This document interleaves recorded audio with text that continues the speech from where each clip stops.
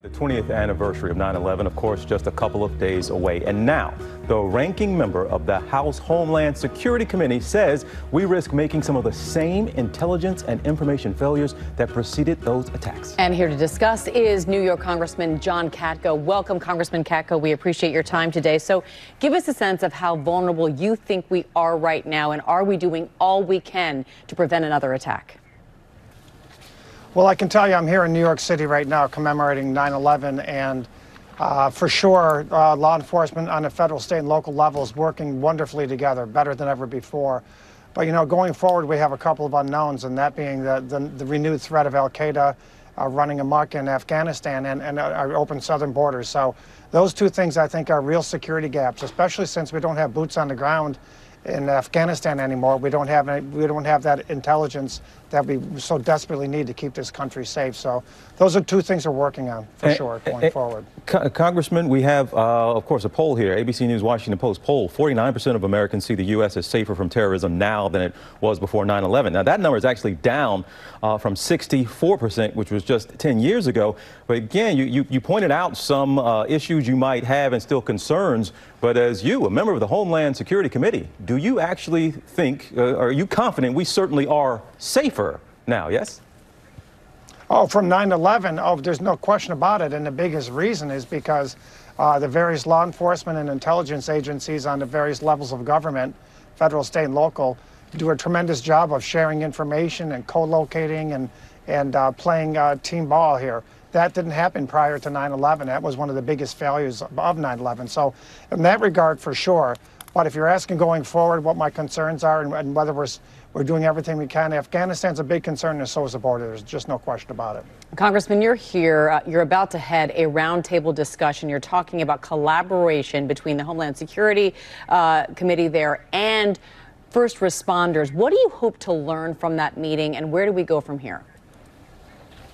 Well, I hope to learn that there's a lot of good news. And we spent the last days going to the uh, fire department in New York headquarters and then the police headquarters, speaking to the, the commissioners and, and the, the, the brass at both places. And we visited firehouses and we've talked to the locals. And it's clear that uh, there's, there's a, a lot of good synergy going on. So I think we're going to hear a lot of good things.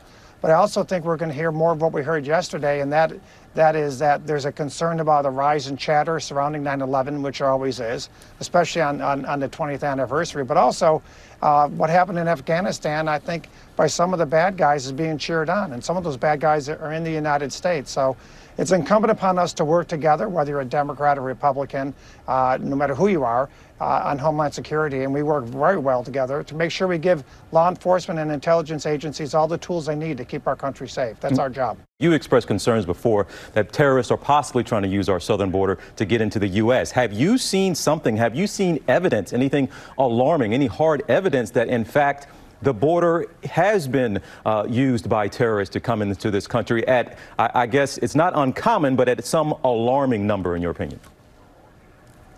Uh, yes, I have. And, you know, uh, we, have been given uh, uh, secret briefings, if you will, and the, you know, the, the hard evidence isn't, isn't uh, public knowledge, but I'll just quote the outgoing Customs and Border Patrol chief who said that the number of known and suspected terrorists that are being apprehended at the southern border is at unprecedented levels.